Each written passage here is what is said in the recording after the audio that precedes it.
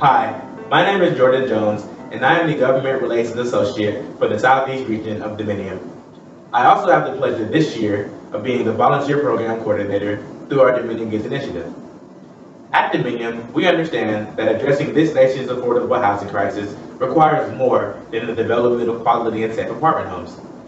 While we specialize in that, a person's quality of life has many intersections from housing to education to even healthcare. So we get excited about engaging with community organizations like Bridging, who provide us with opportunities to address affordable housing in creative ways that go beyond our scope. And even though we have regionalized, we still have a large Minnesota presence. And what better way to get involved in our community than to engage with an organization right in our own backyard? Dominium is committed to making a positive difference in the cities and neighborhoods that we call home.